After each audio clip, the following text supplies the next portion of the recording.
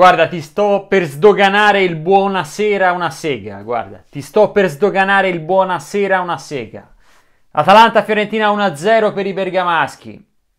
Molti se lo aspettavano di fare un passo falso a Bergamo, di perdere a Bergamo.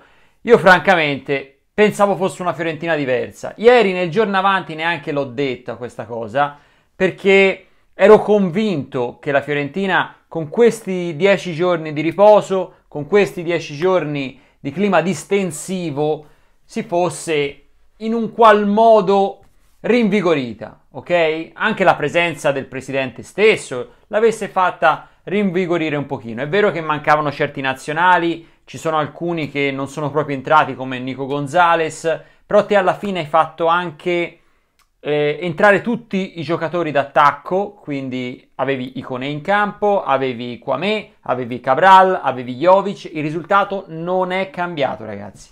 Il tiro in porta non ci sono, Kwame oggi, se devo dire, forse l'unico sugli scudi, l'unico che almeno ci ha provato, l'unico che combatte. Gli altri, gli altri non lo so. Gli altri mi sembrava che cercassero di limitare l'Atalanta o comunque cercassero di chiapparne meno possibile, proprio per dirla eh, come bisognerebbe dirla.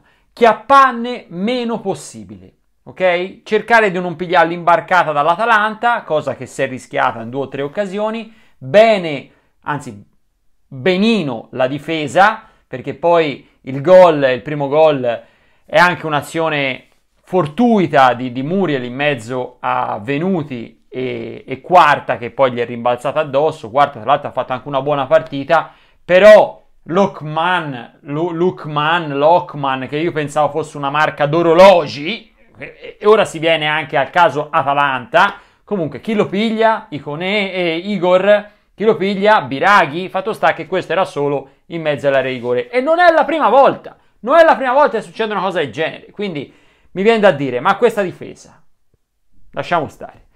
L'attacco più sterile di così, eh, ripeto, l'unico che ci provava è Quame. Ogni tanto tu hai provato anche a mettere il nasino lì fuori. Dall'altra parte, sulla destra, c'hai quel bidonè che, mamma mia, lasciamo stare, riportiamolo in Francia, rimandiamolo a chi ce l'ha mandato perché è buono solo per i meme, praticamente. E, e il resto, poca roba. Bonaventura forse è l'unico che, che, mi ha veramente convinto, Mandragora veramente, veramente poco. Gli esterni meglio Terzic di, di Venuti, molti diranno ci può poco, però io francamente dico meglio Terzic di Venuti. Si è rischiato due o tre volte l'imbarcata con quel me- melee, ma anche lì, ma, io, ma, ma dove li pigliano questi? Ma dove li pigliano? E mi viene da dire, ma ti rendi conto che l'Atalanta va a prendere i signor nessuno sconosciuti, ai più ai tifosi medi, eh, poi gli addetti ai lavori, per l'amor di Dio, magari li conoscono e come, e li fanno frullare, e noi invece tutte le volte si va a prendere quello che fa 30 gol nel campionato svizzero e qui un tocco un pallone nemmeno per sbaglio, o il fenomeno transalpino che qui è limitato. Io mi verrei da dire veramente, mi guarda, cito un mio amico Gabriele Mastropieto, ma di chi l'è la colpa? Mi verrebbe da dire questo. No, ragazzi, non è tanto aver perso con l'Atalanta, perché l'Atalanta sta facendo un campionato della Madonna e quindi è chiaro che è prima, è chiaro che è una squadra difficilmente battibile.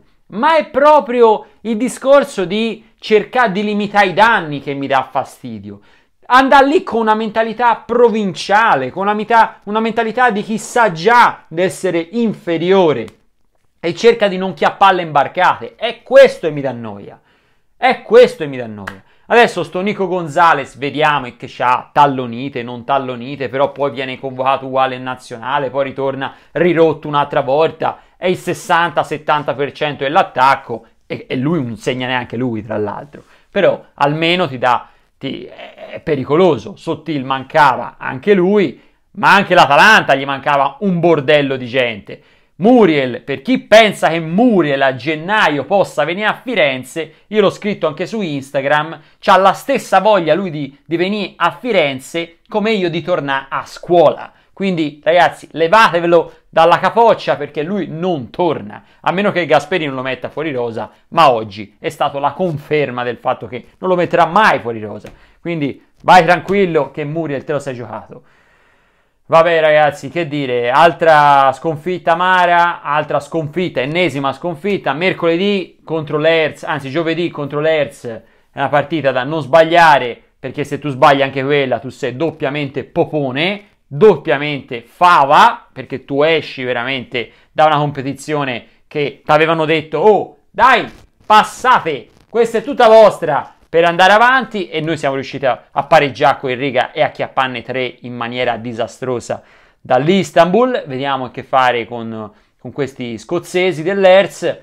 E mi viene di, mi viene di dire guardiamo, guardiamo avanti, continuiamo a passettini, poi ci sarà la Lazio, ci fanno un bagiulo così.